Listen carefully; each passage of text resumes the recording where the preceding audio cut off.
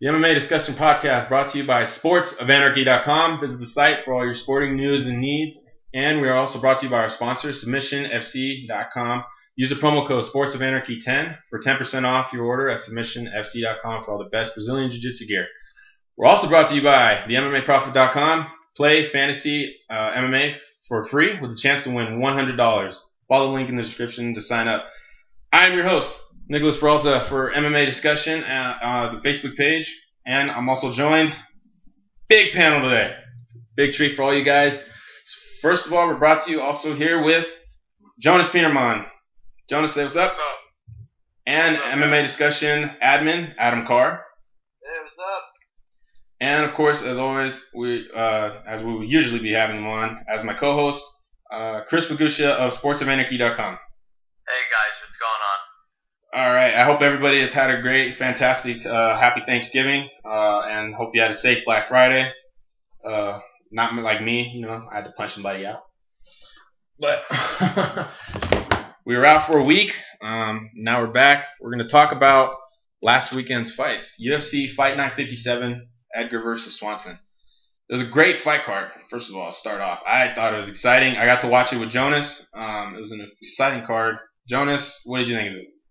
Man, it was off the hook. Um, a lot of those fights in the you know main card were just off the charts. Uh, a lot of action. Uh, few fights in particular, Nick and I had a whole lot of fun just talking shit about. It was just great. I had a great time watching it, and I'm really interested to see where uh, the winners of these fights go after uh, last Saturday. And Adam Carr, I, uh, from what I understand, you didn't watch too much of the card. You watched some of it. Um, tell me, uh, if anything, what you saw and what you took away from the card. Um, kind of shocked by Bobby Green, honestly. Uh, He just didn't seem to bring it like I expected him to, especially with uh, Barboza and how chinny he seems to be lately. Bobby Green just didn't seem to let go. Yeah, well, I have a, I, I, was actually impressed with Edson Barboza. He looked a lot different in this fight, and when we get to it, I'll explain why. Uh, Chris Pagusha, what uh, what did you think of this past weekend's fight last Saturday? Alright, I'm gonna let you guys know it's Palyuka, not Pagluksha. Aha! Everyone gets You let me go through two podcasts saying your name wrong, and then you finally decide to shut me up about it. All right, all right, Well, I never really noticed, but all right. Fight fans, well, let's do this together. easier. The card, the card was pretty good. It wasn't like it wasn't the most outstanding cards, but I had good fun fights on it. I was really surprised by uh, Alexei Oleinik. I didn't expect him to. He was getting beat up. Like that fight was almost over and just knocked out Jared Rosholt. And also, I was I was really surprised by how handily Edgar beat up Cub Swanson. I didn't think that was going to go down exactly like that. I figured Edgar would use his wrestling and his takedowns, but he just completely dominated Cub Swanson. Yeah, I I obviously didn't. For anybody that watched the last podcast, you know how I called that fight, and I did not call it that way. um, fight fans, perish with me for a moment. Okay, so Chris, how do we say your last name then? Because if I'm gonna get it wrong, everybody's gonna assume that they got it wrong as well. So I'll use I'll try to use phonetics. Palyuka. Pal Yuka. You just don't pronounce the G. It's pretty easy. And the I. All right, so don't pronounce one third of your last name. Okay. Basically. All right, well, we'll get used to it. Thanks for that, Chris. Uh, well, actually, for anybody that watched the prelims, it was exciting prelims. I, I obviously not just the star of the prelims, but probably one of the stars of the entire fight. If anybody watched on UFC Fight Pass, uh, Paige VanZant versus Kailin Curran, the fight of the night of the, uh, of the of the card, was a fantastic fight. Um, I don't know if anybody saw it, but Paige VanZant look couldn't have looked any better. She brought it, and so did Kailin. I mean, they went at it. I mean, it was a war. And then Paige VanZant decided, you know, midway through the fight, she started utilizing this uh, strategy where she it was it was sort of a la Cain Velasquez versus Junior dos Santos three, where she would pin Kailin against the cage and just beat her up from there, elbows and, and, and knees, and, and got a few takedowns here and there. And Kailin even got a few takedowns here and there. She made it a fight. Both women brought it, and I don't know if either of you uh, Yeah. three men saw the fight, but it was a terrific fight. Yeah, I actually I caught the VanZant Kern fight. I thought it was definitely a good fight. I mean, it, it was definitely deserving a fight of the night too, because there was nothing that was that competitive throughout the Mhm. rest of the card. I mean, Wiman Valley Flag was competitive, but it had its boring moments. That fight was it was a really fun fight. I think on a scale of one to ten, it was probably. I think a lot of people see it as like a nine. I think it was more like a seven and a half. It was a good fight. It wasn't. It wasn't. The, it just. It was fun. It was definitely fun. Just I'm talking in terms of technical aspects. Uh, Paige VanZant's takedown defense wasn't the greatest. And I mean, aside from that, it was like she had, did do what she was supposed to do. She she stuck to her game plan. She got taken down a few times. She got a few takedowns. It went everywhere. It was a fun fight. She landed a lot. She got the finish. As far as um, who was sticking to their game plan, who are you talking about? Kailin Curran or uh, Paige? Paige. I disagree with that. Actually, I found throughout the fight that she was having a hard time with the with taking her down and and and, and but standing up with her, she was doing great. It oh, was yeah, throughout. It was like in the middle of the fight, she realized I can put this girl against the cage, and she can't really do yeah, too much about it. And then I'm gonna just start punching her and elbowing her. Yeah, I mean, it seemed like she adapted in a way throughout, like throughout the, the middle of the fight. Round, she, in the first round, that's what she was doing. Then she started getting taken down and was struggling a little to stop the takedowns, and then she went back to that. Yeah, I, I thought she did a tremendous job throughout the fight. It was a great fight. Jonas, did you happen to see it? No, I was actually on the road uh, texting you about All it. All right, fans, if you haven't seen that fight, Paige VanZant versus Kailin Curran, go watch that fight. It's on Fight Pass. If you don't have it, go borrow somebody's. It was a great fight. It was um, I I, I can't wait to see more of uh, of Paige VanZant, and I'm also excited for this new division, and uh, and that's a discussion that we will get into later on. Um, any other favorites of the prelims? Uh, you, Chris, Jonas? Um, I I enjoyed the James Vick Nick Hein fight, and I also like the the Magomedov Copeland fight wasn't a good fight, but Magomedov showed some really good skills in there. Jonas? Yeah, definitely uh, agree with the uh, Magomedov and uh, Copeland fight. Also, uh, I just want to say James Vick won on some home cooking right there, man. I, I don't see how he won. Yeah, I don't see how he won that decision. That was just straight up home cooking. It's, uh, it seemed like yeah, it seemed like Vick was somewhat doing almost like if you watch the fight, I had to watch it again, and it seemed like he was pulling off if you pay more attention to striking, he was pulling off like a Carlos Condit, Nick Diaz ish kind of strategy where yeah. he was going backward a lot, but he was landing strikes. Um, he was. But he wasn't landing many significant ones. Plus, he got dropped. And well, he did. He landed more than I'm just looking at the stats right now. He landed more total and significant strikes than Hein did, and I thought he lost a round where he got dropped twice. But aside from that, I thought he won the other two rounds. Eh, I'm not entirely sure. I should probably go back and watch it again. But yeah, watching it again, I, I still give Hein the, the the I give him the first and I give him the third. So maybe maybe it's a lot closer than than when we first initially watched it, me and Jonas together. Um, but I thought that yeah, it seemed like wow, I don't see how Vick won that. You got to watch. You really have to pay attention to that kind of fight. If you're not, then it's it's hard to see what Vick's actually doing. Um, yeah, aside that, from the aside from that first round, because of the knockdowns, everything else was really close. Yeah, it was a close fight. Definitely, uh, I, I was impressed to a degree with Nick Hein, especially uh, it seemed like he, he shouldn't be at lightweight. I don't know if that's because James Vick is just that big or he's just that small.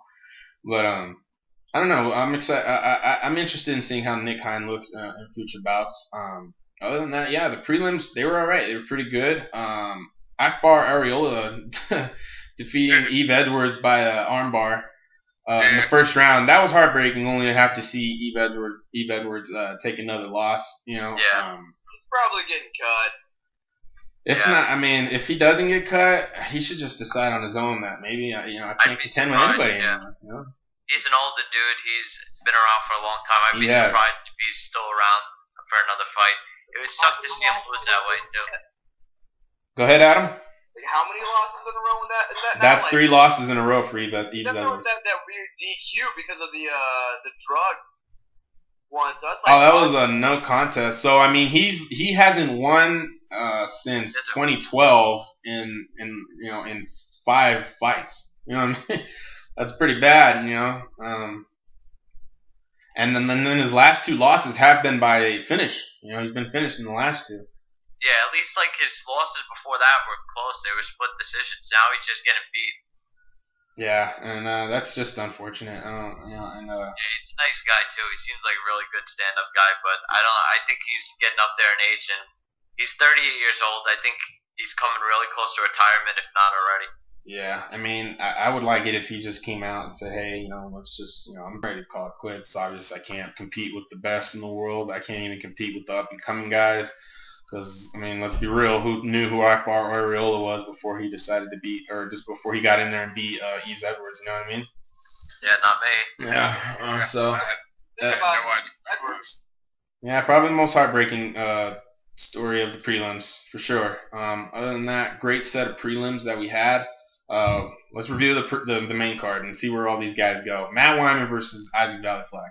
That was a very competitive fight. It was very uh, it seemed like a, a very dirt like dirty fight. I don't mean to sound weird when I say that, but it just seemed like those guys were in each other's faces almost the Yeah. whole 15 minutes. Like they just couldn't get out of each other's face, trying not to hit each other, elbows in the clinch against the cage. Um, It's a lot of that. yeah, uh, Jonas, what did you think of that Bob. fight? Yeah, uh, a lot of uh, domination from Wiman on the ground. Uh, Vallie-Flagg was uh, totally dominated there, and that's why Wiman won the fight. But once they were standing up in the clinch against the cage, it was pretty even. That's uh, you know, Vallie-Flagg had a few opportunities there, and he just didn't take advantage. Yeah, they they landed pretty close to evenly. I thought um Isaac was getting the better of some of the exchanges, but it was really close up there. You're right though, Jonas. Wiman did dominate when it went to the ground. He took Isaac's back quite a few times, and he did it really slickly. It was a good comeback for him. Yeah, it's it's great to see him back in there. I personally am uh, like the guy. I'm, I'm, I'm a fan of him. I enjoy watching. him. He puts on surprising fights. When I say that, I mean like he uh he goes in there, and you know you don't you don't you really never know what you're gonna see from that guy ever. Whether he loses or wins, he puts in something different, and I like that. And I don't know if that's an evolutionary thing on his part, or he's just trying out new game plans and tactics, and he just hasn't found the right one. Maybe I don't know, but each and every time he's in there, uh, I enjoy watching him fight. What do you guys, Jonas? I'll let you start first. Where do you think? Who do you think he should fight next at lightweight, if anybody? Uh, it's kind of hard to get him somebody. Uh, I don't know exactly where he goes. Got to fight somebody lower ranked in the uh, top 15, if anyone, if he gets up at all. So I have no idea where he goes. To be honest with you. I got Chris, an what about you? Um, I say fight Takanori Gomi. Both are kind Hmm. of on the same level. Neither guy has really shown much of a uh, much of a chance to really get to the top at this point. Just put them in a fun fight against each other, and that that's really all that fight is. The fight, like a good opening fight on a pay per view, get the fans into it, have something big like that. Yeah, I mean, whether you blame, whether you think he's pay per view material or not, he's he's his fights are pay per view material. I would say if he goes in there and just, you know, puts on one of the, you know, his his his high premier fights like he can, um, then I then yeah, I would never have a problem with that. He's a great fighter. Yeah, I I personally actually like that fight. Takanori Gomi. Uh, I've also stated I think he should fight uh, other fighters. I can't remember exactly who just right now, but um, against somebody like uh, off the I top of my head. Huh. Say it again. I don't know about the Gomi fight just because they always want to have Gomi fight someone who's like coming up like in the ranks and just to get them noticed. I think a Mitch Clark fight wouldn't be too bad. Makes sense. You know, because uh, I mean, he's been Clark gone two years. I mean, to fight a guy like two in a row. yeah, and and and he's been gone two years. To fight a guy like Isaac Vallie-Flagg was definitely a tough fight for him, no doubt. Um, Yeah. But also, the guy is now on the tails of a three-fight losing streak now, so um, that doesn't exactly say where Wiman's at in skill level because we don't, you know, because it seems like Isaac is on the decline. Um, but yeah, I mean, I, I'm sure that he'll get a mid-tier guy next, and Yeah, I think that's a McGuire's like I mean not McGuire. Um, he, Mitch Clark who beat John McGuire. That's why I said McGuire. They um, Mhm. I think he's like that perfect mid tier guy who's like coming up. He did beat out like Quinta. That should be a fun one yeah. if they make it. next fight on the on the main card that uh that went down Joseph Benavidez versus Dustin Ortiz. Now, as I saw that fight, I saw a Joseph Benavidez that didn't look like he cared much for any kind of strategy or utilization of technique while he was in there. he seemed like he was just in there to headhunt uh, throughout the whole fight. He mixed in he mixed in he mixed in some grappling for sure, uh, and actually beat him there, uh, but barely. Uh, Ortiz gave a, a much uh, closer fight than I think many people gave him credit for. I remember seeing a lot of predictions Many people predicted a Joseph Benavidez finish. I don't even know if I saw Benavidez' decision. Um, maybe one or two, but you know, Dustin went in there. He took he took a lot of hard shots and even and gave a few himself. And uh, and, and he could tell at the end of the fight, Benavidez had some lumps. And so uh, it was uh it was definitely an ex- uh, exciting fight. It was a wild fight as well. Uh, Jonas, what did you think about it? Yeah, uh, that was a very close fight. Benavidez did get the better of him on the stand up though. He got the better of uh, Ortiz. Uh, Ortiz just was very tough. He took a whole bunch of hard shots. Uh, he had a lot of heart, like you said, and I was really impressed with uh, Benavidez being able to just grind it out. Uh, it wasn't an absolutely dominating performance, um, and no telling where uh, Ortiz goes after that fight because you know even though he lost, hell he did a damn good job. So I think he should uh, still be uh, relevant in the division. For sure, and uh, he's two and two now. So I mean, but uh, the thing about him is that he needs a, a, a, when he first came here, he had a knockout victory over a over a flyweight Brazilian whose name I can't remember right now. Um, and he looked great. And so I mean, he looked like this up and comer. Like, oh, look out for this guy. Lost two straight, but very close decisions.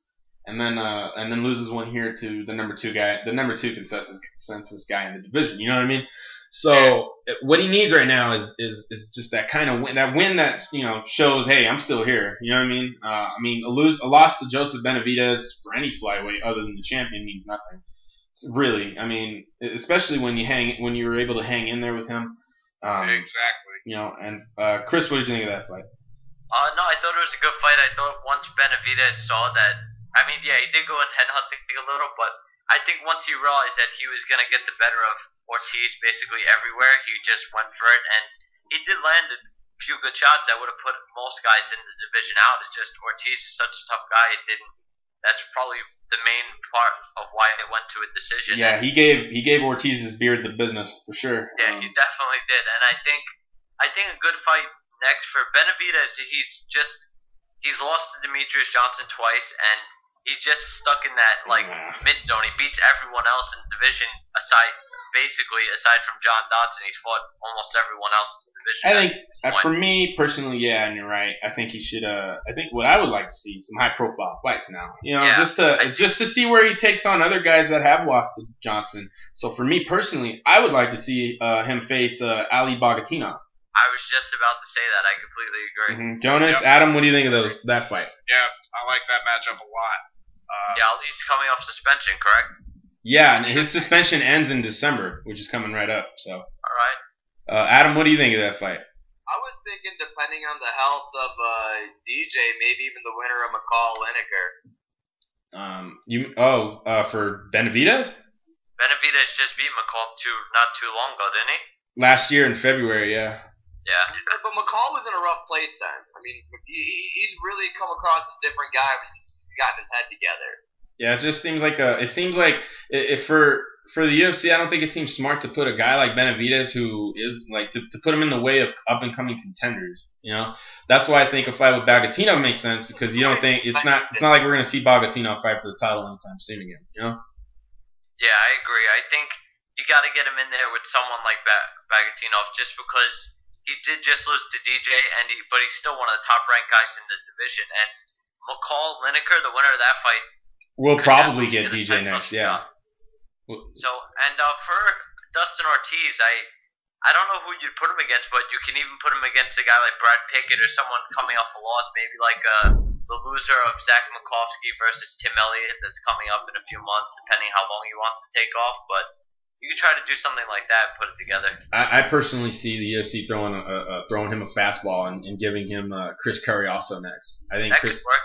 I mean, I think that would be a great fight for Ortiz. Imagine he wins that. That's really a statement kind of win right there to beat a guy yeah, who would, fought for the title. That would be a good fight.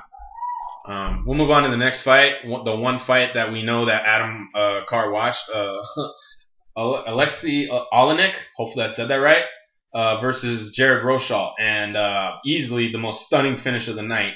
Uh, Oleinik winning by the method that nobody thought he would win by in the first round when against Rosholt in an exciting fight. And I think that's kind of crazy to say because anybody that's seen Rosholt fight in his last three fights has uh, knows yeah. that you know it's not like he's the most exciting fighter to watch. You know what I mean? Um, he's like, you know, he's like uh, he's like he's basically like GSP on anesthetics. You know what I mean? He's just, uh, you know, it's pretty bad. But this fight, he looked more aggressive, more, uh, you know, look, like he was looking for a finish. He looked like he was mixing it up with his takedowns and his striking. Uh, he looked like he had a, a real good game plan running in there, you know, and then he just ran straight into a left hand from bam, Russia, just boom, and went right down. And against a guy who's known strictly uh, for being a submission grappler, you know what I mean, getting guys down, tapping them. Um, Oleinik is that guy, and so uh, it was it was a shocking finish. Oleinik won uh, performance of the night, uh, getting some 50 G's, and uh, for me, I personally I think Oleinik uh, got a good win. I don't personally think it gets him up into the top 15 just yet, because that's he's now only two and zero, but with two finishes, which is impressive. Um, I think personally, I would like to see him fight like a guy like Derrick Lewis, another guy who's known for finishing all of his fights recently coming off a loss against Matt Mitrione, just to just to gauge a little more on where Oleinik is at. Plus, it's a great fight for Lewis as well, because that's a guy who's coming off a big win. If he can beat a guy off a big win, it's a good fight for both guys. Chris, what do you think? Um, yeah, I, I mean, I was surprised to see Rosholt come out that strong, and he was just he didn't even use his wrestling. He just put him against the cage, used his striking. Basically, he was just dominating at that point. It looked like it could be stopped at any second, and then that big hand, left hand landed and put him out, and I was really surprised to see that Oleinik do that. But I mean, I don't know. I don't know exactly who you put him against, but uh, Derrick Lewis, someone just outside of that top 15, just to gauge if he could be a top 15 guy. Just like okay, maybe someone like Derrick Lewis, who's like maybe 20, 25 in that area where you'd rank them, because in the heavyweight division, it doesn't take much because it's not like a stacked division. Yeah, I think for Oleinik, it's just one more win away. To be real, From what? one more win to getting into the top 15. Oh, okay, yeah. I was like, I hope you don't mean a title shot. Don't be silly. All right, uh, Adam, what do you think of that fight? You, I know that you saw it. It's the only one that we know that you've seen. So what did you think? I saw that, I saw that one on the Barboza one, and realistically, I got something simple to say about that fight. That fight's the, the result of what happens when you look for the knockout too much. The Bobby Green one? Yeah, we'll get into that in a sec. But for the as far as the heavyweight fight. No, no, I'm talking about that. With Oh, okay, go ahead. Looked for the finish too much. He tried to force the finish, and he paid the price for it. Yeah, it's and that's kind of the thing with fighters. Comes to you. Oh, go ahead. Sorry. They always say that like the knockout, the finish will bring itself to you. If you go looking for the knockout, you're gonna run into a punch. Mm-hmm. And And that's, that's that's the story of that fight. yeah, and that's the story for every fighter. I mean, who's you know, it's it's always a matter of trying to find that balance, trying to find you know, uh, of getting in there, not going too crazy, not staying too relaxed, just staying perfect, staying aggressive, staying tactical.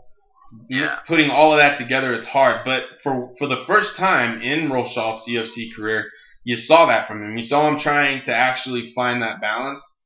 Um, and so for me, it was a good fight to to see from Rochalt.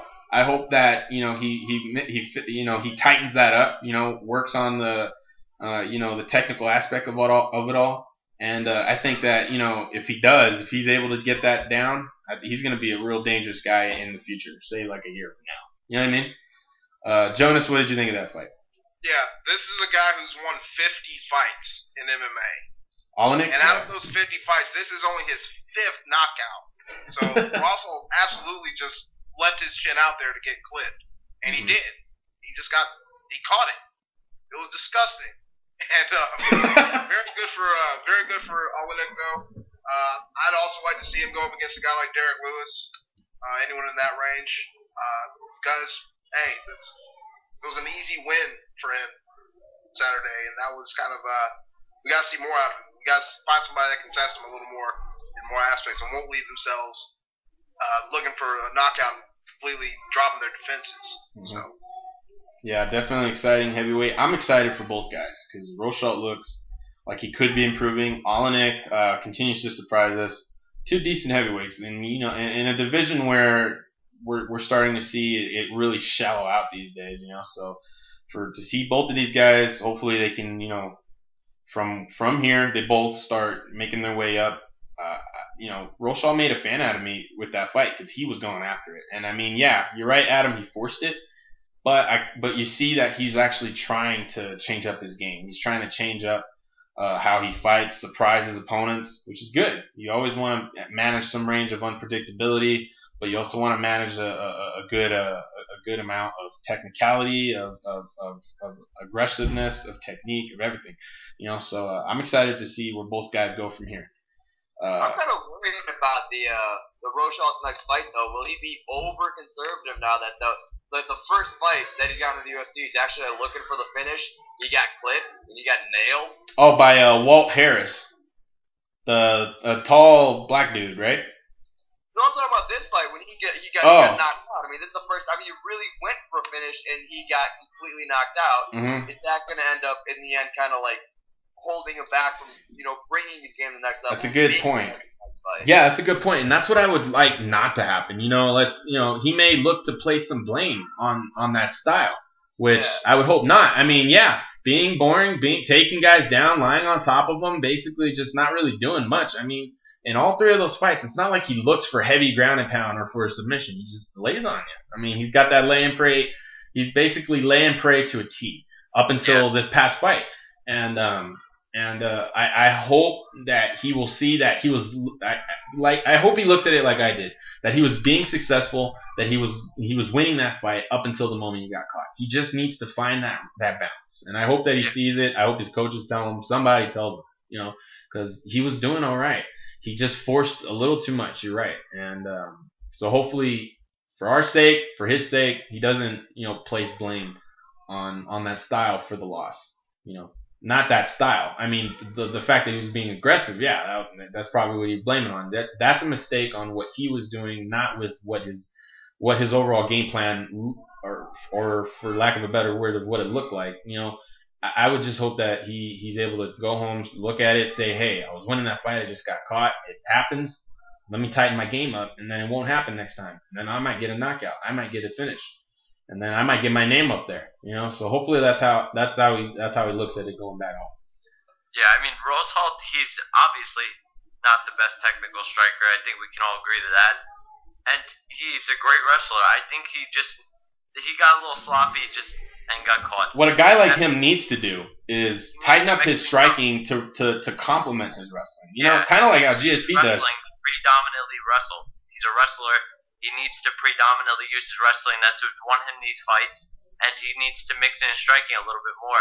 Because there's going to be situations where he can't take guys down. There's going to be guys he's not going to be able to take down. He's going to have to be able to strike and use that wrestling to, like you said, complement his, stri- his striking to complement his wrestling. Yeah. We'll move on to the next fight. Uh, excited for both heavyweights. I think we can all agree it was definitely one of the highlights of the card. Uh, we're moving out to the third to last fight of the card, uh, flyweight, Chico Camus versus Brad Pickett. And I told you so, Chris, so suck it. if anybody listened to the last podcast, I called this fight. I said Chico was going to come down looking great. I thought I thought that he would come down with the, the weight cut looking amazing. I knew he had the, the talent. I knew he had the striking. I knew he had the overall ability to get it done, and he got it done. It was a very close fight though, for sure. Um, yeah, you act like he dominated the fight. Like okay, I'm not acting like anything. Frankie, I'm acting like Frankie I was right on my call. How about that? I, no, no, no. I know you are, but but who who dominated the fight? Who did I pick? I picked Mr. Frankie Edgar, and I think he dominated. All right, we're not there yet. So how about shush? How about that? You know. I was right. You were wrong. Take it like a man. Anyway. I was right. You were wrong. You were wrong more. Just shut up. this way, I mean, Yeah. What? For, all right. Well, no, no, no. Okay, so me, eh, if anybody listened to the last podcast, please feel free to listen to it on our archive page of sportsofanarchy.com. Listen to the last podcast. Me and you discussed that this card, this fight, the next fight, and the main event. I said Chico Camus, Edson Barboza, and Cub Swanson would win. You said Brad Pickett, Bobby Green, and Frankie Edgar would win. I called two of them right. You called only one of them right. I think we just agreed on the. I think we agreed on Benavidez. I think. We yeah, we agreed on everything else. The top three card, the top three fights we didn't. I I may have picked. Actually, no. You picked Jared Rosholt, and I picked Oleinik. So I, I was know, right three times out of four. I was right two out of four, I guess, and then I mean What? stuff happens. Stuff happens. Oleinik got that knockout, which was, I mean, that was a little suspect. No one thought he was gonna win that fight, but I'll give it to you.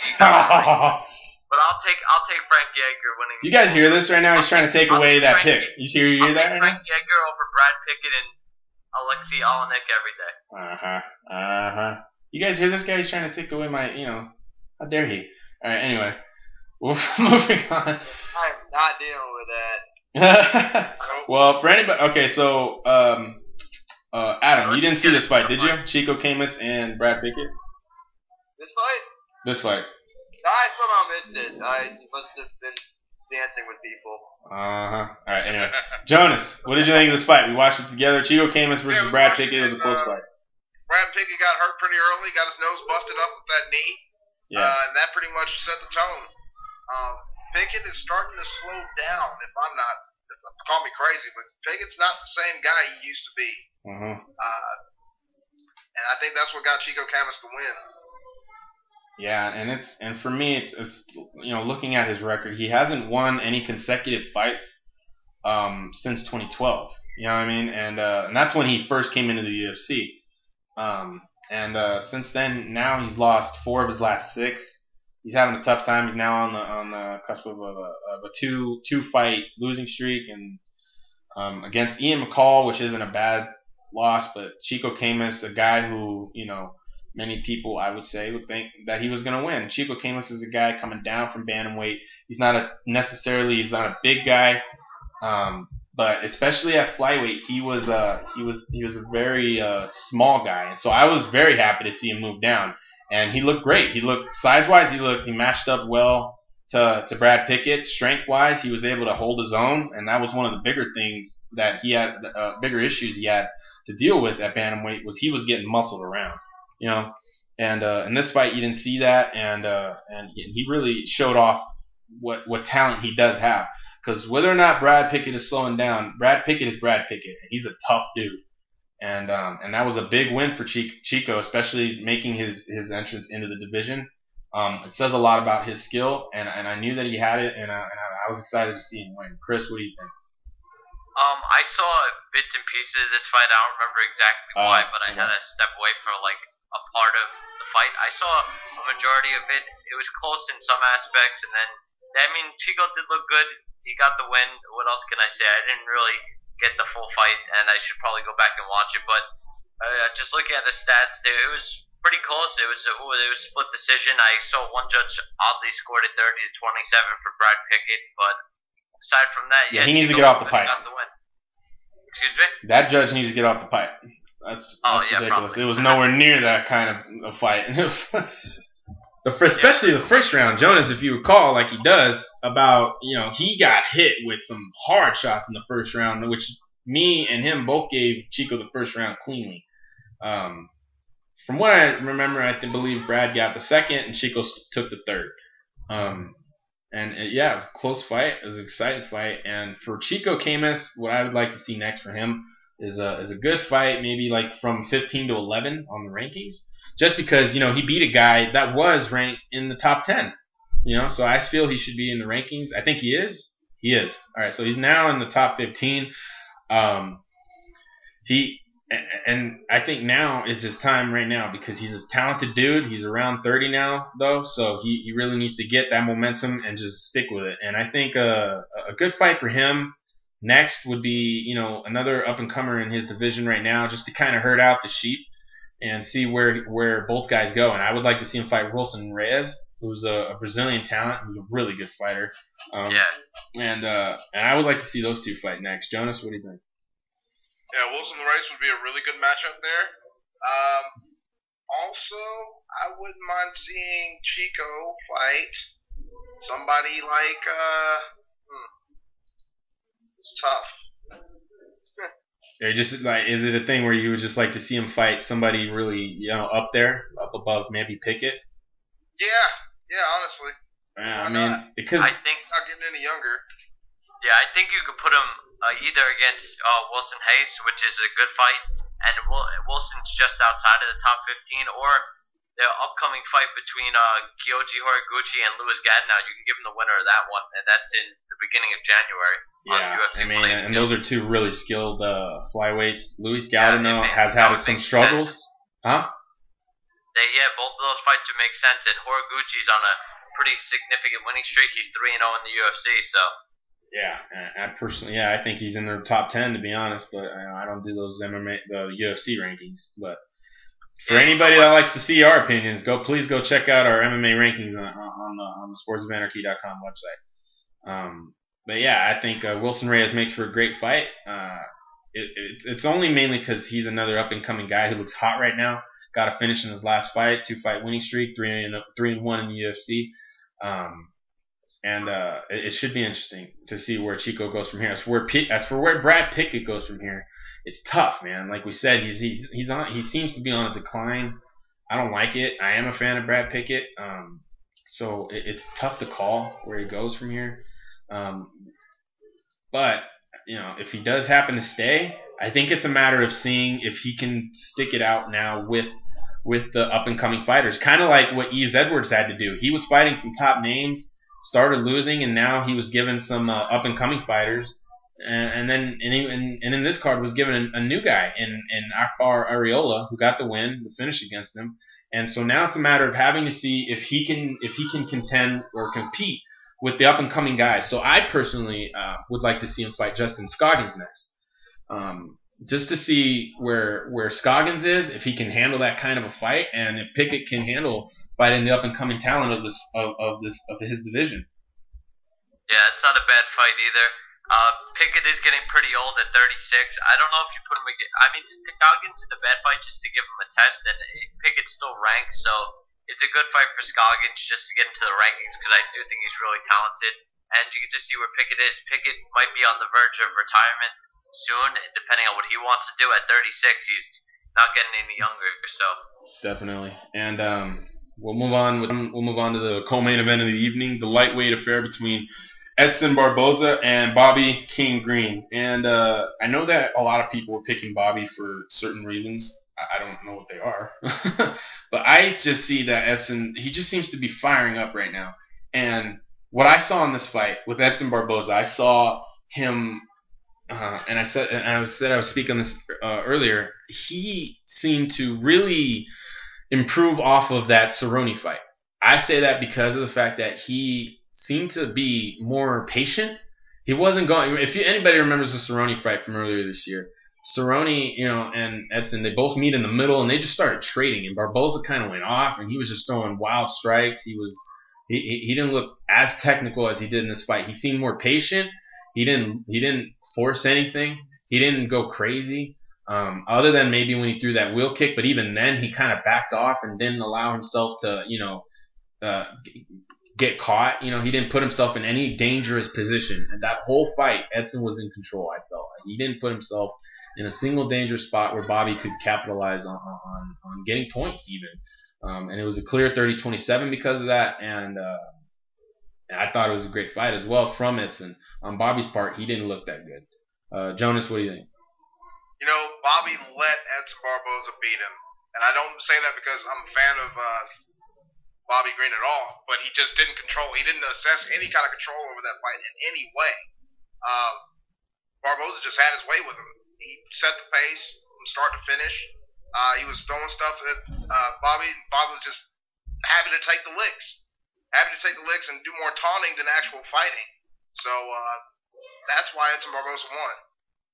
Adam, what do you think? like going along with that whole taunting thing, it's just like it's kind of weird coming off of him saying that this might be his last fight.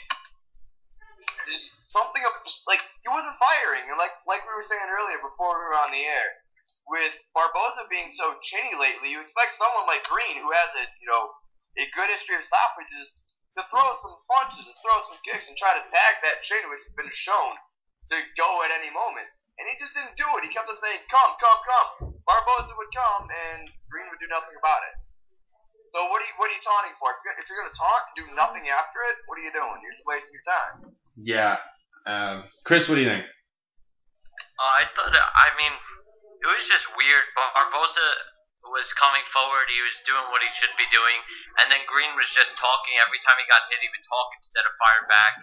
And he just, I mean, I know a lot of things that have been going on in his personal life could have affected him in this fight, but just in general, he, he didn't look that good. He, I was surprised he didn't mix things up with his takedowns and stuff like that. And yeah, he just he looked kind of stale, I guess you could say. Uh, I like I said, I think Edson couldn't have looked any better. He looked more improved from the earlier fights that he had this year, and so with that, I think it's good to see that he, he's he's he's uh, he's sharpening up some uh, some tools, and I think that that makes for uh, an even more dangerous Edson Barboza. So he might he might look to have an even better year next year. Who knows? Yep. Um, Barboza does very well coming off of a loss. Will say that the last two losses, or the last the loss to Cerrone and the loss before, uh, forget who it was. Jamie Varner. Yeah, yeah. When he lost to Varner, shoot. The next fight, he's coming in a completely different fighter and getting it done.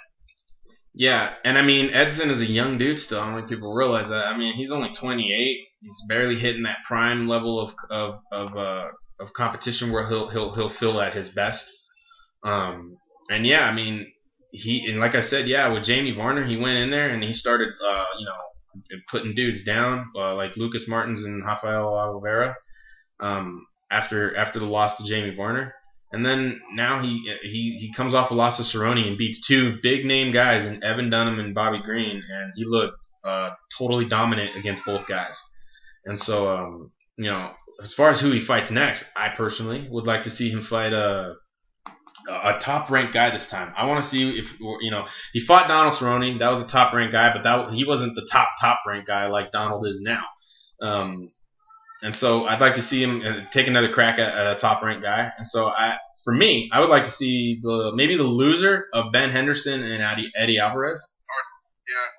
Yeah. Uh, I think that that uh, that those you know it makes the most sense only because uh, you know especially with one of those guys coming off a loss, they would definitely have something to prove. Plus, both guys are coming off a loss already, so when they whoever the loser would be that would face Edson said that should that fight happen, um, they would definitely have a, a, a fiery streak going, and that would make for a very competitive opponent for Edson to face. And um, and I think that whoever he fights between either those two guys would be an amazing fight. Uh, Jonas, who do you who would you like to see him fight next? I think it's a shame that RDA is booked. If Who- you get my drift. What'd you say? I, I. yeah. I'm I'm really kind of sad that RDA is booked because that would have been a good fight. Already, yeah, that would be a great fight. Well, that's only in a couple of weeks, though. Yeah, uh, against Nate Diaz, that's not a, that's not a fight that's out of range of happening. No. Say, say, or, you know, if RDA either loses or wins, uh, I don't know what would happen depending on the state of the lightweight Yeah. division. Something we'll talk about another day, but it's not a fight that could not happen, definitely, because it's coming right Yeah, up. that fight's in only two weeks, but I think if Dos Anjos wins that, I don't think Barboza gets the fight. I think if Nate Diaz wins that, Barboza could fight Nate Diaz next. Yeah, I'll agree with that because if RDA wins, he's getting a title shot. He, might should. He's. a Des- I shot. think he's I think- deserving of it. Yeah. I think a healthy Khabib deserves a title shot, to be honest. Before RDA, yeah, definitely. Yes, but that's yeah. dependent on on on uh, Nurmagomedov, and we still don't even know. He's not very. Um, he's not very. He doesn't really talk, you know, about his injuries. We don't know anything. Nobody reports on it. So as far as we know, he's still injured and still out of it. So if RDA Yeah. can get another win in there before uh before Nurmagomedov announces that he's healthy and ready to go, then yeah, I mean he probably would get the next title shot. So. Yeah. And that's not a matter of the rankings. That's just a matter of how, how the game goes sometimes. Um, Adam, what do you think? Who, who would you like to see Barboza fight next? I was down for that uh Alvarez Henderson loser matchup just because that's that's another fight that's like guaranteed to be something that's exciting. For That's sure. you know I'm all about the matchups that, that are good against each other more than the you know the rankings are so weird. They seem like they make them up on the spot. So I don't really care about the UFC rankings too much. But you get a, you get a fight that can get people interested and get people watching, get people talking. That's what matters to me. And a fight like that could get people watching, get people talking. For sure. And fight fans, let's be real. If you want to look at some real, actual rankings that make sense, go to sportsofanarchy.com. Check out our rankings. We don't mess around. We're we, we, plug. say that again. I don't even know what he said. What'd you say? Shameless plug. Yeah. Shut up. Anyway. uh, Chris, who would you like to see Edson Barboza fight next? I just said if the if Nate Diaz beats Dos Anjos, I think Nate Diaz can make for Oh, that's right. That is right. Um, yeah, I mean, well, that's a, uh, as far as Edson goes. We know where he's going. He's going nowhere but up right now. He looks hot. He's on fire. Bobby Green, man, I don't know. It's it's weird to, to, to say about him right now, and, and it's only and we can only really speculate on that until we know if he's coming back to fight again because per, he's had a lot of personal issues. For anybody that doesn't know, he lives in an area that I live close by, and I understand what he means by it. He lives in an area where there's a lot of gang violence. There's a lot of stupid, you know, there's, for lack of a better way of saying it, stupid shit that goes on between some people in the in the area that he lives in. And uh, he's lost. Uh, he lost a brother now, and another brother got shot, and um, just recently this year, and that's horrible. That's very horrible, and and and, for him to have to go into a, a, a a cage with that on his mind, you know, I would think more than anything, it's just best he takes some time off. For me, um, it makes the most sense for him. I think that um, uh, if he can take some time off, think about it, see if if coming back is really what he wants to do, if it's what he wants to do, if it's what's best for him, um, then then then good on him. But I just think he needs to take some time away. It's definitely a big personal hit for him, and so for Bobby Green, I just think he needs to take some time off. With that Yeah, I agree said, with you, Nick. Uh, Yeah. That, the way he fought, just the way he fought uh, uh, Barboza, that he clearly did not want to win. it just didn't seem that he came that he showed up to fight. He and wasn't that, there. He yeah, wasn't there to win. yeah, He was there to collect a check. So yeah, I mean, and nothing so against Bobby. I, I understand what he's going through. I, not that I understand, but I can understand how things like that can affect him. But he, he's not about fighting right now. yeah, If he's not about fighting, he doesn't need to do it. For sure. He needs to take the time, then come back, or decide if he even wants to. With that, we'll uh, we'll move on to the main event, the the highest topic of discussion here: Frankie Edgar versus Cub Swanson. And man, I know a lot of people had it going for Cub, or I mean for Frankie. Uh, I nobody expected the the the, the degree of of of um, ass kickery that went on in that fight. I mean, uh, Cub looked good starting off. He landed some shots, not significant shots, but a couple of good shots. And then just after he got taken down the first time, it was, you know, it was game over. It was just no, no coming away. It- you could just, you could almost see it after the first takedown. Frankie just took over that fight from from nearly start to finish, and got up, got and now has the latest uh, recorded finish in all in in uh, UFC history, and will probably remain that for the remainder of his career for the long time to come because it's hard to really get another finish in in those four seconds at the very end of a five min, uh, five uh, round fight. Tremendous fight, and what's what's funny is that, and and even though it's obvious, nobody talked about uh, about Frankie possibly getting a title fight after that fight. And the reason being is because Frankie Edgar's Frankie Edgar. You kind of just get a gauge on how he fights and what he does. And he got that also even more so in the fight with Jose Aldo. But now he actually looks better, like loads better. Like he looked amazing in that fight. It not. I mean, he set up his striking to complement his wrestling in the best way. He would set it up, put some punches on him, and then man, he would stick it in on his hips, and the Cub was just couldn't couldn't do anything. He couldn't do anything. It was an, an insane performance. It was one of the best performances of the year that I've seen. Um, next to like I would say it's second behind T.J. Dillashaw. It was that good. And, and and while I wanted Cub to win, you can't take anything away from Frankie Edgar. That was one of the best performances I've ever seen this year. Uh, Chris, what do you think? Uh, I thought could have possibly been Frankie's best performance of his career, despite being a former champion. Definitely. He just he went in there. I mean, at first there was a little bit of exchange on the feet, nothing really too much, and then he took Cub down. And he's like, "Oh wait, I can take this guy down at will." Just went in there, took him down, and Cub's no slouch on the ground. He's a black belt, and Frankie just neutralized everything Cub wanted to do from the bottom. He just was passing, doing everything he could, and he fin- he got the finish at the end. Yeah, and compliments to um to to Frankie's corner because in the first round, Cub got taken down, but he was able to push him off. He was able to get the butterfly guard, and he used uh and he used uh, proper technique and got himself out of there.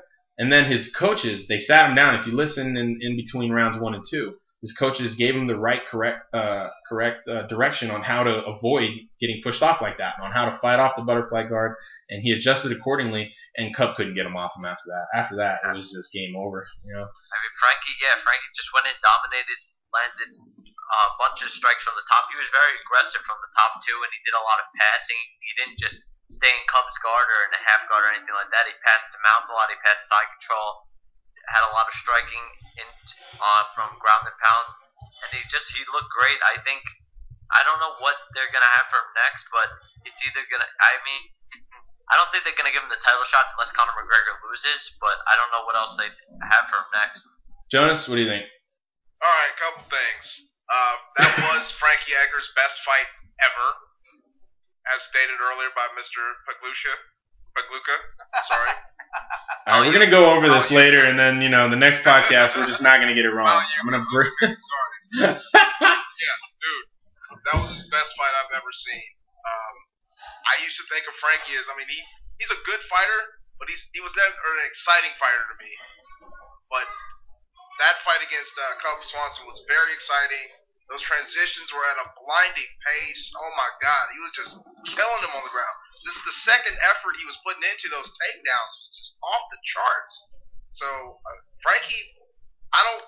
Dana won't see it. You know, Lorenzo won't see it, but he earned a title shot. He beat the man that was guaranteed the title shot on the win, so he earned it. He earned the title shot. He should be rematching uh, Jose Aldo. Adam, what do you think? So first off, his ground and pound it seemed to have a lot of emphasis that it didn't have before. Yeah, that's another thing that he improved on. Like that's uh, uh, to speak on his improvement. He looked great everywhere and more improved everywhere. Go ahead. Sorry. And even with, I mean, I think he realized that his striking isn't something that you should try to win on.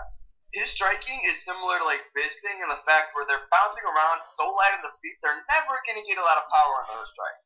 Just the way the way they stand, the way they move, not getting a lot of power on it. So he's using it much better, like you know, to, to distract and get their hands up and open up the takedown.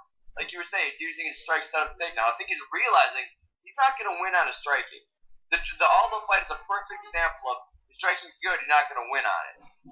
So if he can like, I don't, I don't know if it's still enough to beat Aldo. It's a discussion for a different day. But his his, his difference from using his striking to set up the wrestling correctly and his ground and pound being leaps and bounds better than ever has been. He's a much scarier fighter because I don't think anyone was ever really scared to fight Frankie Edgar before. People should start being worried now. Oh yeah. Chris, what do you, or Chris, we already asked you. Never mind. as far as for what I see in this fight, I, I from what I took away from this fight, I took that Frankie is still on a competitive high. He's not he's not straying away from trying to just be okay. I had the belt. I fought for another belt. Maybe that might have been it. You know, he's like, no, send me in there with your best guys. I'm gonna put them away, and then I'm gonna get that title shot, and I'm gonna get that belt. He's still got a great mindset on it, on a great head on his shoulders right now. Uh, for being as experienced and veteranized as he is, he's still uh, going in there. And you know, he had a he had a rough streak, 2012 to 2013, losing to Ben Henderson twice and Jose Aldo.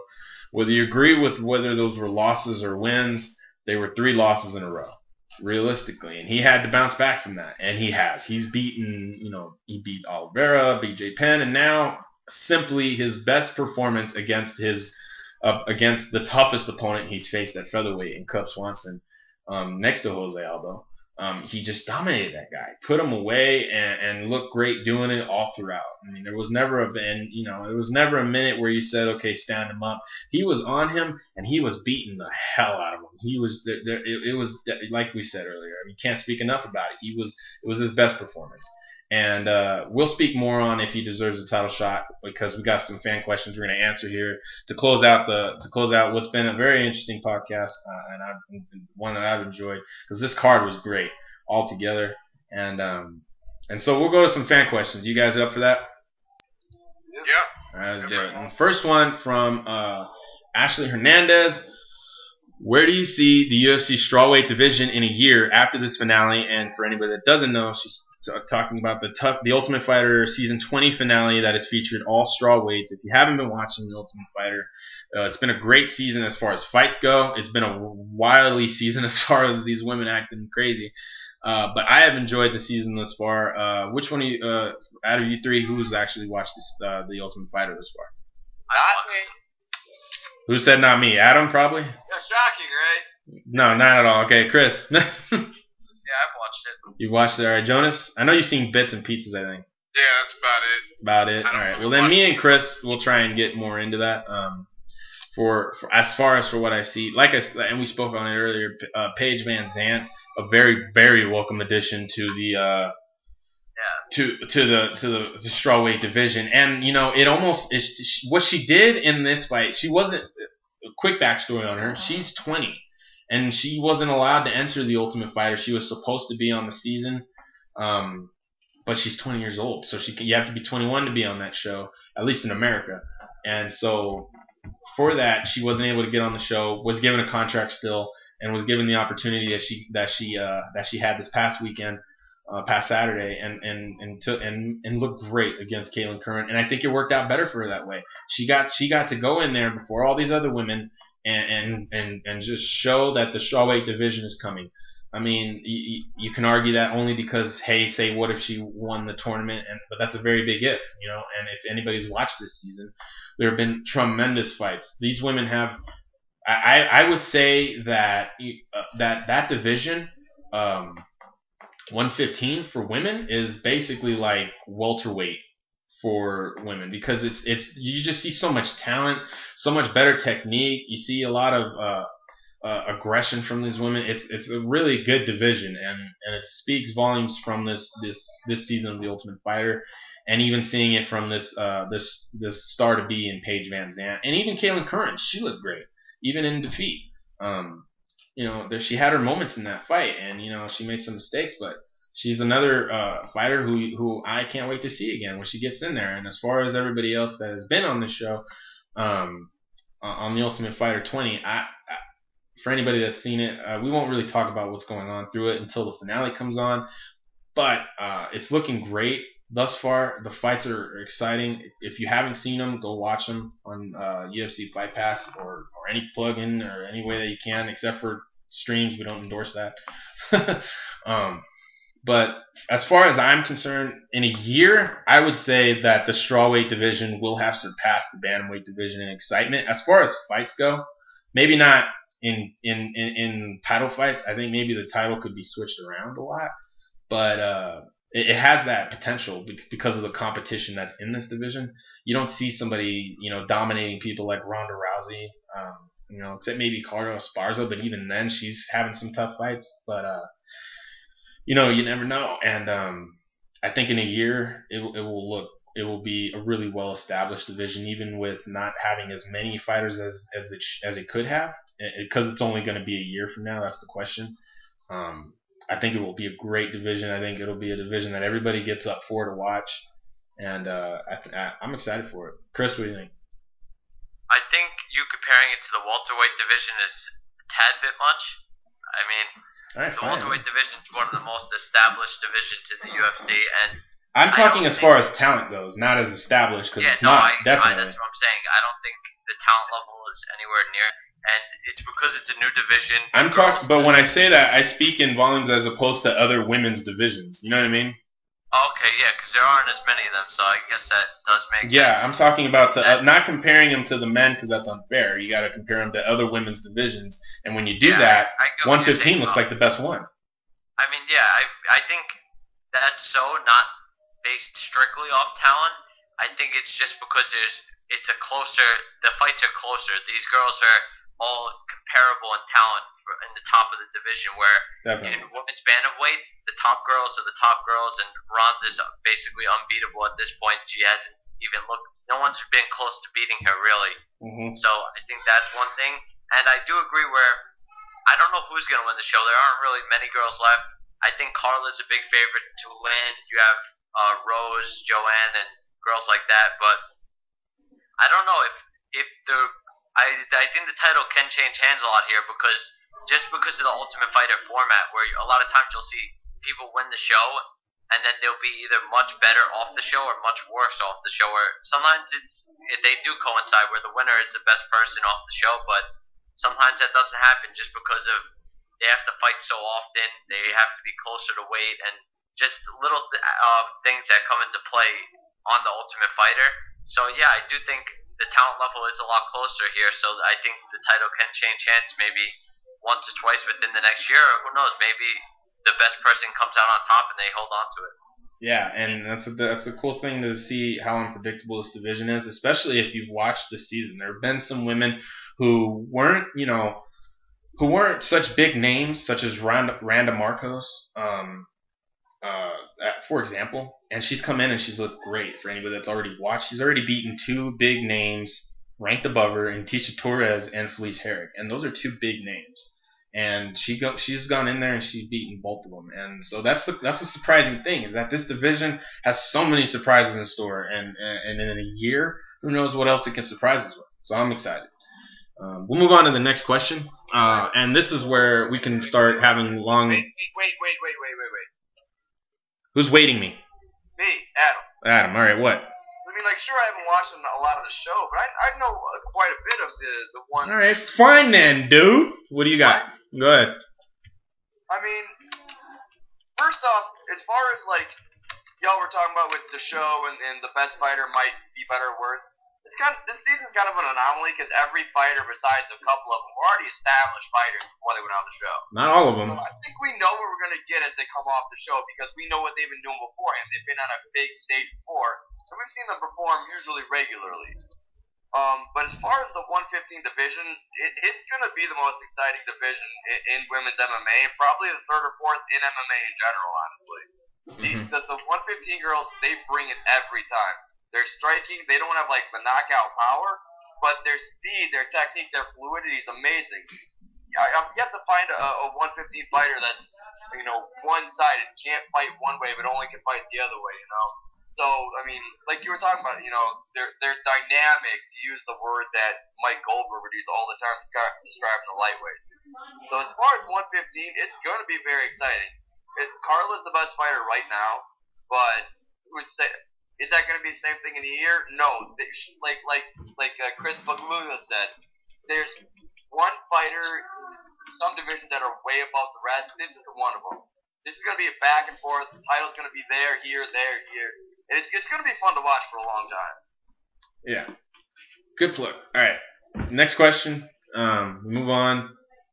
This is a really long debated question, especially now uh, by um, Brian Newton from MMA Discussion. Who do you see as the next contenders for each division? Now that's a very loaded question because there's a lot of freaking divisions nowadays. So we'll just go for the ones that don't have title fights right now. Um, right now, we already know uh, bantamweight is gonna have D, D, uh, Dominic Cruz and TJ Dillashaw. Uh, as far as flyweight, who's who would you say it's flyweight? just go through them by weight class and just go. We'll go by weight class, but what we'll do is we'll go for ones that don't have title fights right now.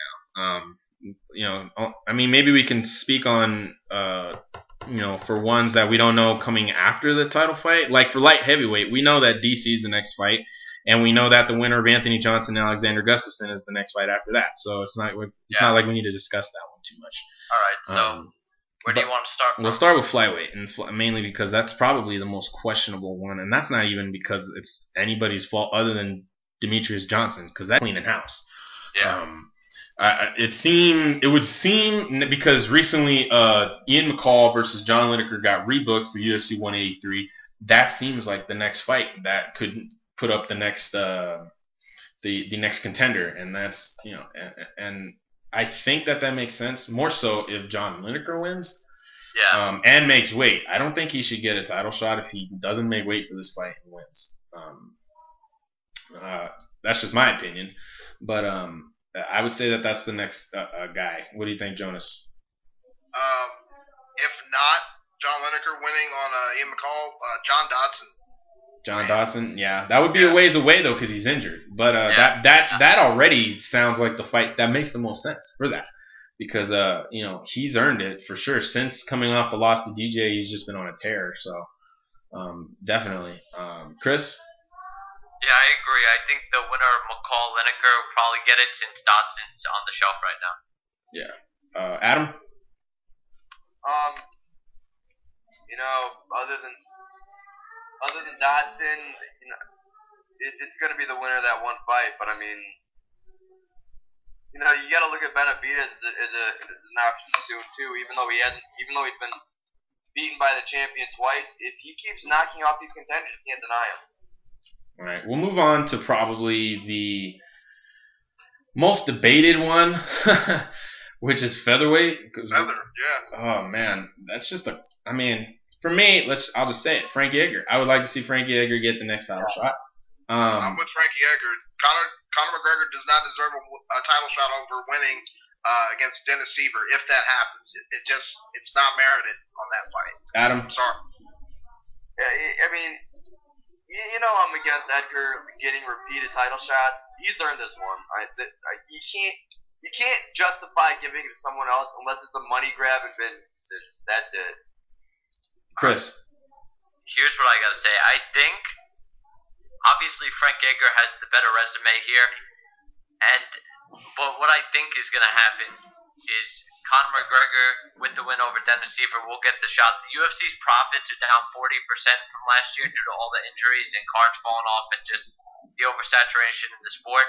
They need a fight like McGregor. They need someone like McGregor to get a title shot, and I think that's what's gonna happen as long as he beats Dennis Siver. If not, Frankie will probably get the shot. I, I, I just I don't see that. I don't see where, uh, especially coming up, where the pay per view business looks like it's gonna boom for the next couple of months with cards like 181, 82, 83, and 84. But what happens if there's injuries? Yep. Um, Bingo. That's a big what if, but you can't just Yeah, you can't you make can't business rule them out. decisions That's assuming that.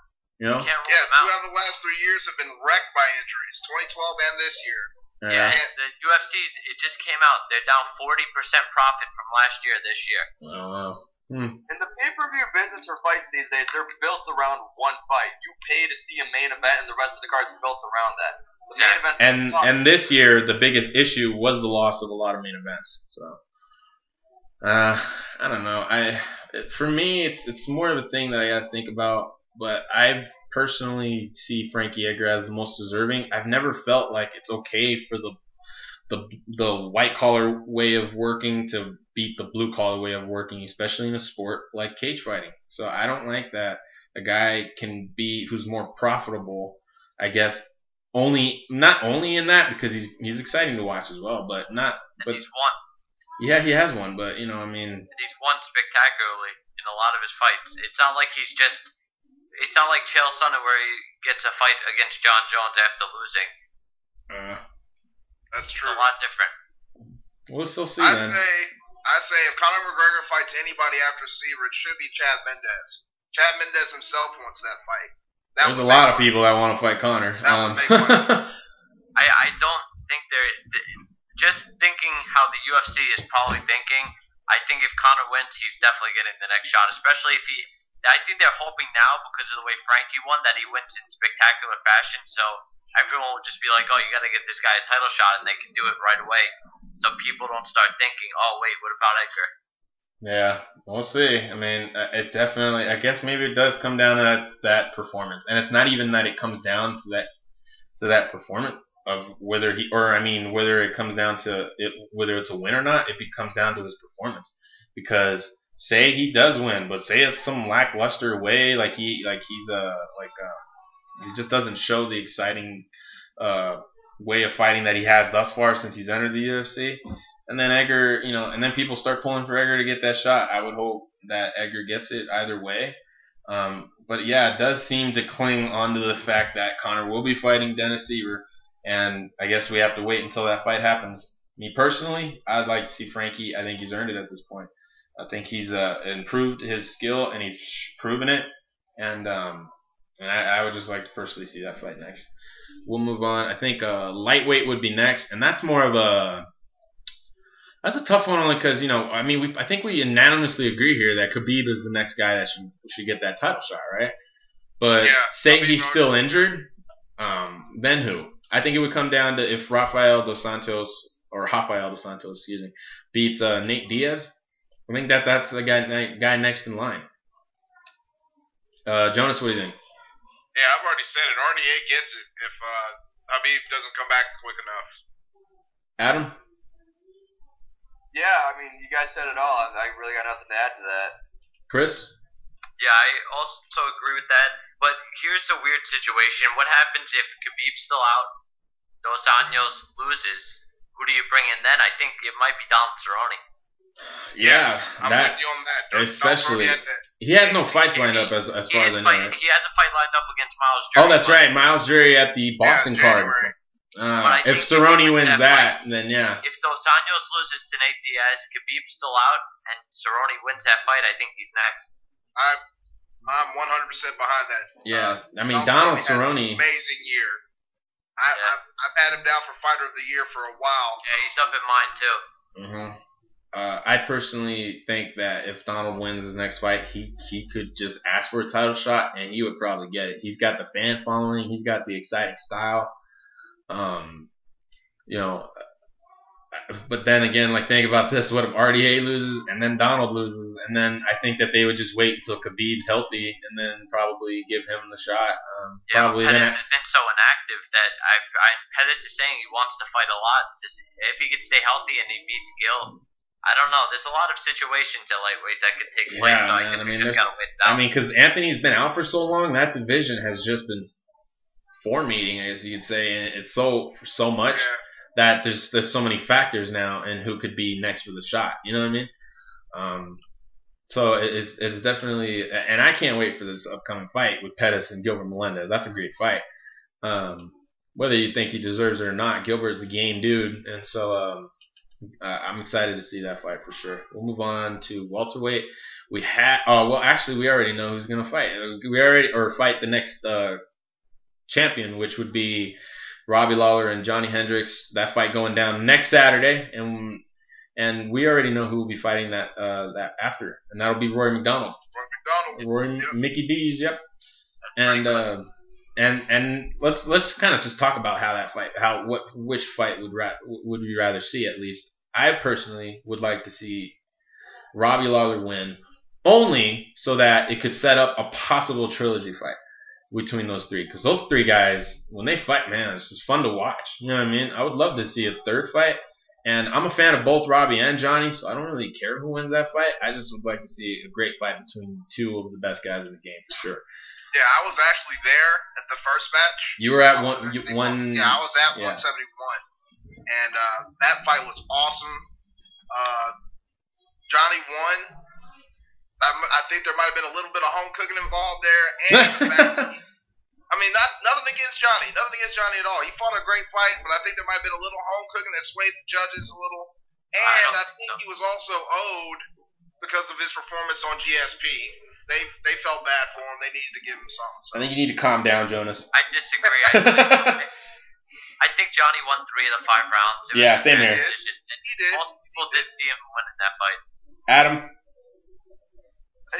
We're talking about the Hendricks Lawler fight, I mean, I that fight can go either way. Um, Hendricks came out with a different style last time, you know, with the volume punching. If he, you know, puts power on punches again, it's gonna be interesting.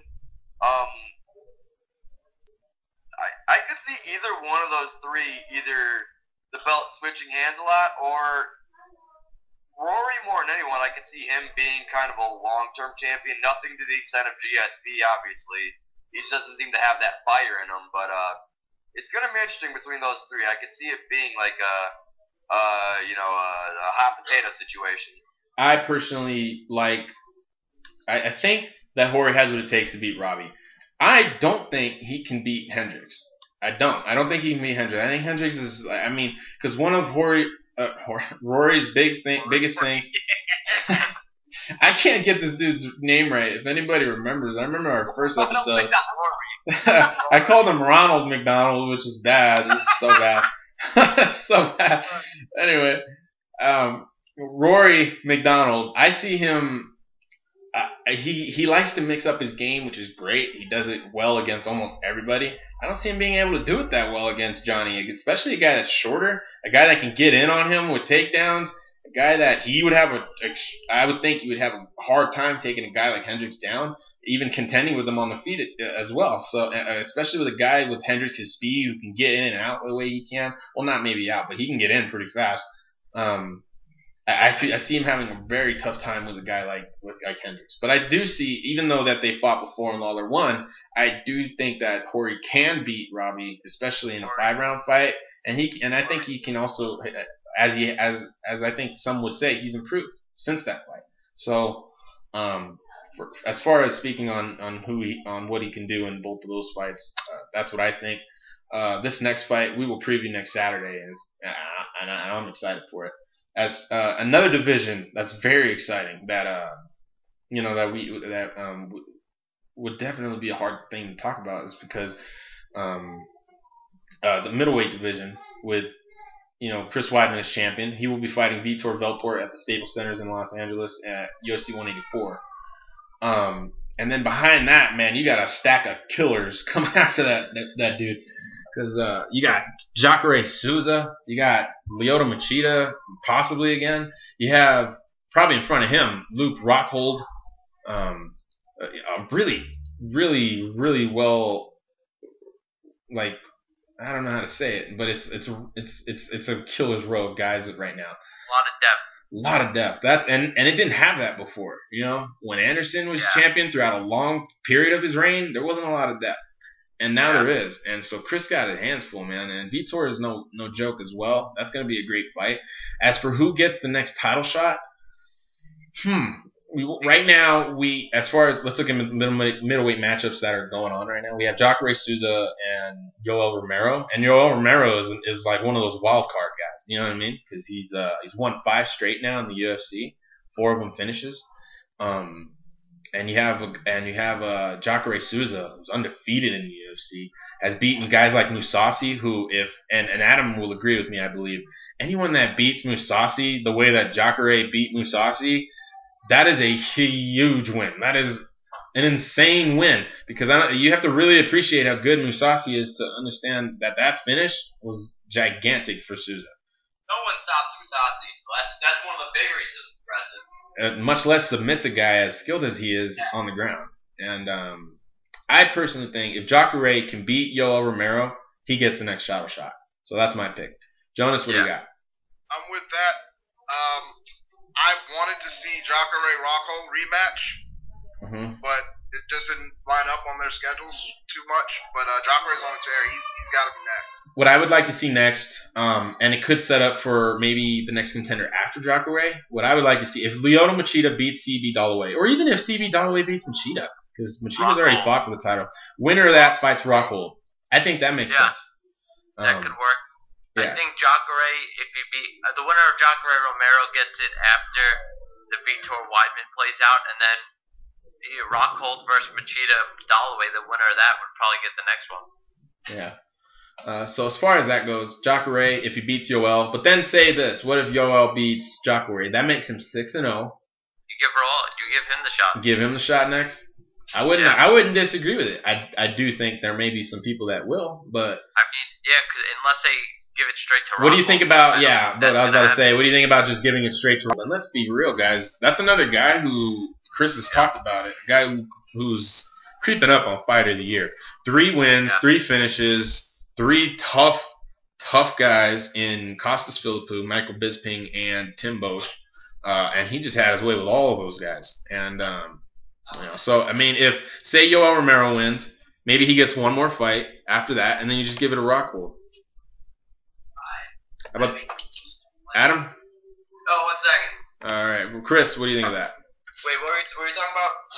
Uh, we, I was saying, say Yoel Romero beats uh, Jacare, I would say maybe he gets. I wouldn't be uh, argumentative at all if he gets the title shot.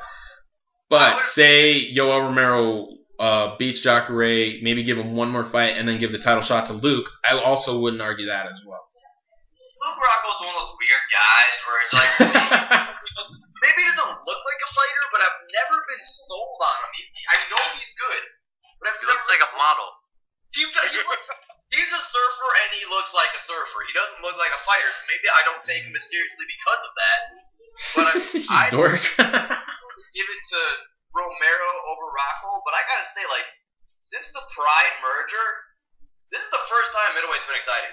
You mean Strikeforce? No, the Pride merger. Middleweight was not exciting un- until like after the Pride merger, and then Oh, I, I get what you're saying now. And then it's yeah. they brought in Henderson and a couple of the other 83 pounders they were in Japan. I mean, the whole champion versus champion thing. You had a couple of the new contenders, but it dried up quickly. Now we have a bunch of contenders, which is weird because Anderson beat everybody except for except for Weidman. You know, it, it, it's fun to watch for the first time. It, it's it's kind of the, the the ups and downs of having a dominant champion. Mm-hmm. Yeah, I I mean I respect Rockhold so much. Just he, the guy is he's a tough guy. He beat Jacare. He's beaten. He was the Strikeforce champion, and he's basically one of the best guys in MMA right now, in my opinion.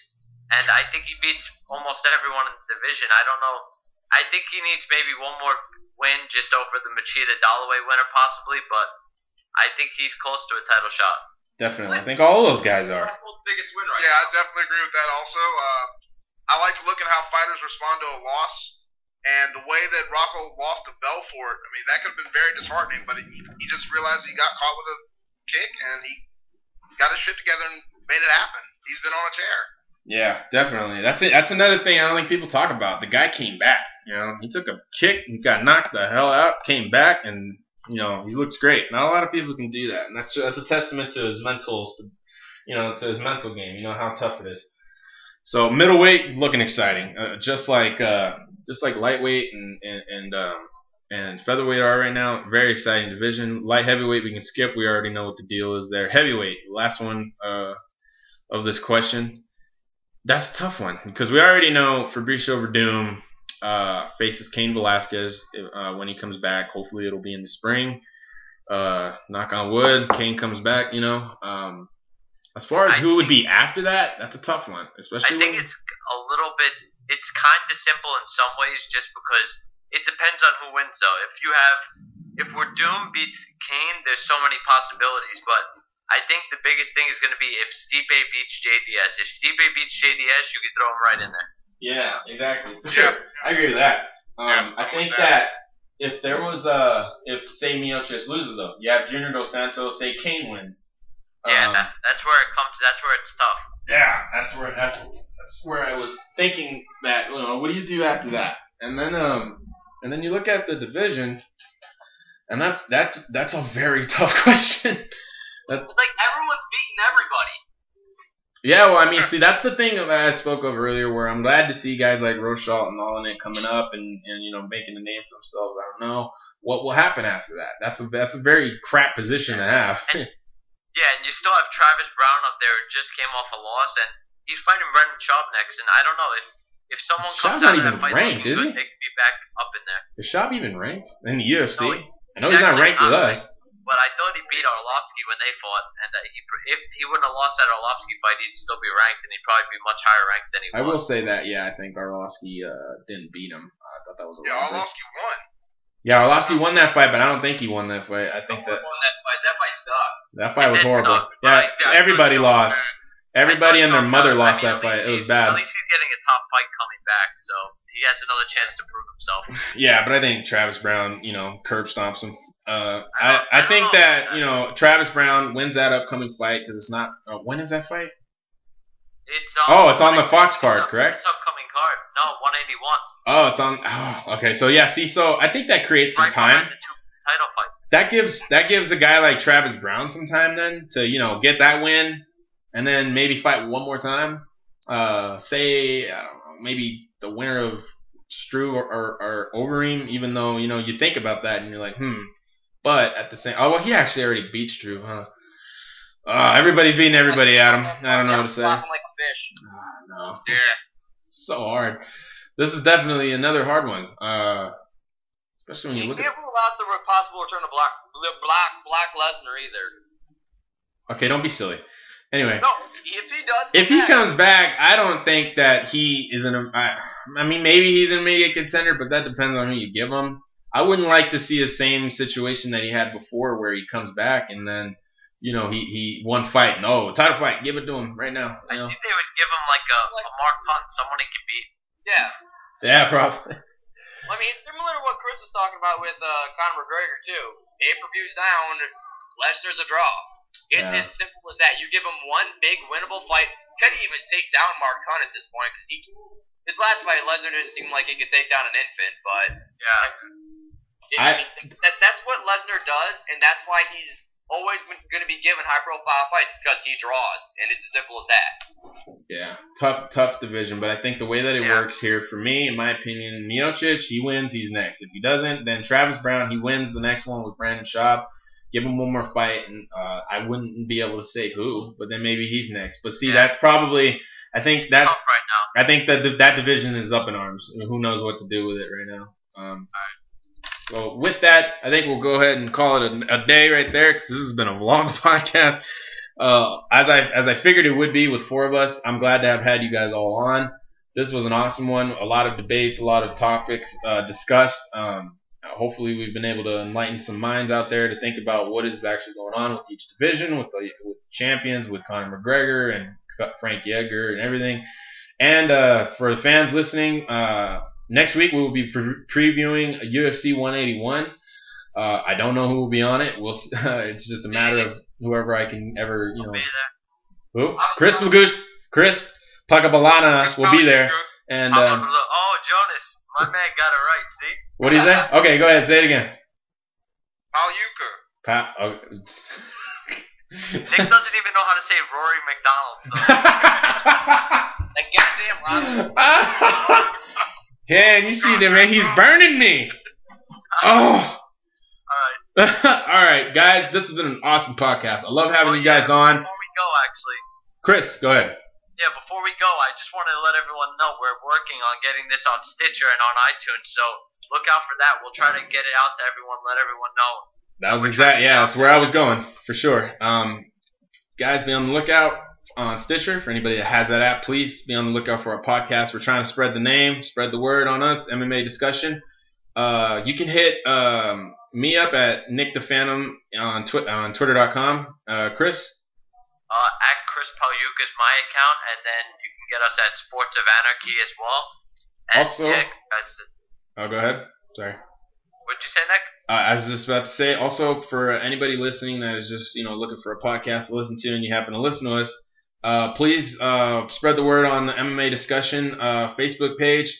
We still don't know, fans. Uh, I'm gonna be as honest as I can. I don't know if we will get uh, the old page back, the one with all the fans, the one with all the crazies. But uh, at the same time, I want to be opp- opportunistic about it, um, optimistic about it. I mean, like Adam Carr is, and being able to, to say, hey, look, we'll start it from the bottom. We may, we may not. Who knows what'll happen? Um, I'm still trying to figure out what'll happen. But uh, but since then, uh, but since this past week, since uh, since I've had to realize that that may be what we need to do, um, I will be more active on the page. You'll see me. You'll see Adam. You may even see Jonas. um, uh, so no matter how it's going, MMA, MMA, MMA discussion will never die. It's not gonna happen. We won't let it. We're gonna keep bringing it no matter what. Please follow us at MMA discussion on the Facebook page. I may even get started on a on an MMA discussion Twitter. Uh, until then, I'll let you know. Thanks for joining uh, me, Jonas, Adam, Chris. You guys were awesome. This has been a great podcast. Uh, I like having all of us here to discuss. It creates more. Uh, it it shows off more opinions, shows off more debates. Um, great podcast, you guys. Adam, thank you. Thank you. Uh, Jonas, thank you. And Chris, you're the man as always. And uh, Thanks, guys. It's good talking to you guys. yes, awesome podcast, fans. Thanks for the questions, and uh, please keep them coming uh, for the next one.